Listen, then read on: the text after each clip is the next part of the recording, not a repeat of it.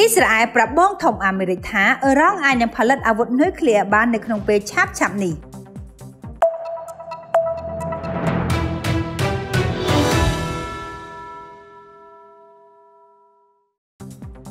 អគ្គសេនាធិការនៃកងកម្លាំងការពារជាតិអ៊ីស្រាអែល លោកអាវី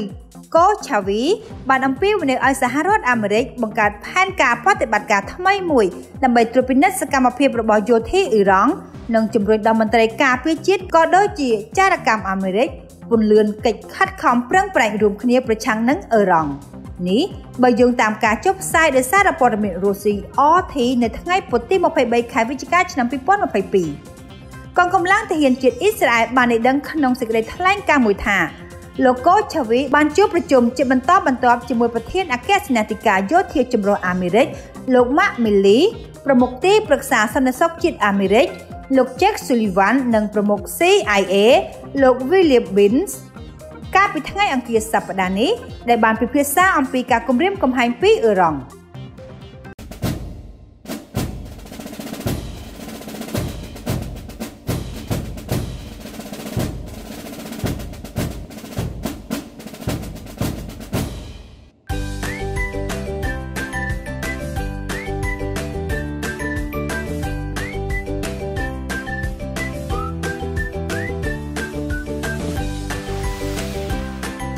ថ្នាំលាបគុណភាពល្អបំផុតអុយ90ផ្ដល់ពណ៌ភ្លឺស្រស់ស្អាតដូចចិនក្នុងឱកាសនោះលោកកូឆាវីបានគូបញ្ជាក់ថាយើងកំពុងស្ថិតនៅចំណុចសំខាន់មួយដែលទាមទារឲ្យមានការពន្លឿនផែនការប្រតិបត្តិនិងកិច្ចសហប្រតិបត្តិការការប្រឆាំងនឹងប្រទេសអឺរ៉ង់រួមទាំងភាគីពាក់ព័ន្ធនៅក្នុងតំបន់ ទោះជាអ៊ឺរ៉ង់ស្ថិតក្រោមសម្ពាធសេដ្ឋកិច្ចយោធានិងបញ្ហាផ្ទៃក្នុងជាច្រើនទៀតក្តីប៉ុន្តែទីក្រុងតេហេរ៉ង់នៅតែបន្តជំរុញគម្រោងនុយក្លេអ៊ែររបស់ខ្លួនគួរបញ្ជាក់ថាក្រមមន្ត្រីអ៊ីស្រាអែលបានអះអាងអស់ជាច្រើនទសវត្សរ៍មកហើយថា